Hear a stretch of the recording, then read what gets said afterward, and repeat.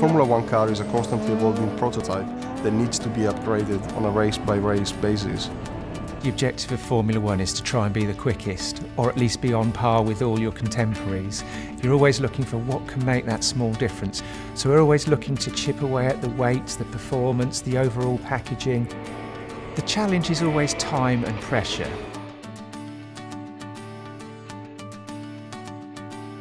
A Formula One car is largely made of composite material. We produce more than 4,000 components every year. Many of them have uh, very complex shapes. When we're looking at a composite material, one of the big advantages is you can use different plies of carbon um, with different properties to, uh, to get the most stiffness for the minimum weight. You've got tens or hundreds of pieces of material, everyone optimised structurally and positioned carefully to do something that's very deliberate and very controlled.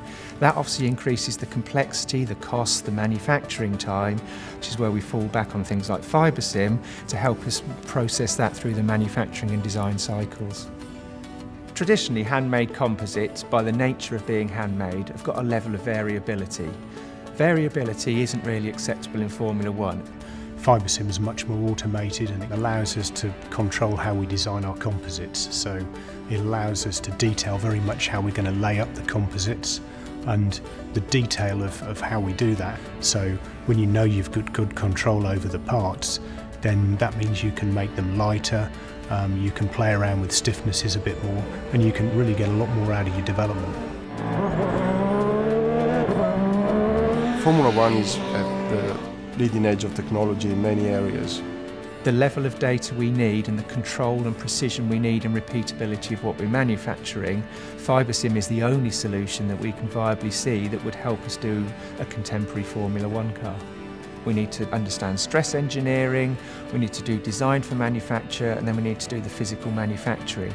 Three very different disciplines with different methods and procedures. Fibersim helps us bring all those into a single source. We have a single solution that works across the departments. We can use Fibersim spread between design and manufacturing to look at drape simulations, look at how the fibres work and understand how best to optimise each individual ply of material together so there's no surprises within design or manufacture when we're producing the finished components we've got a really big regulation change. So the cars are getting wider, all the bodywork's changing, we've got a lot more freedom on aerodynamics. And that's really tough because the loads on the car have gone up a lot. They're going to get a lot quicker.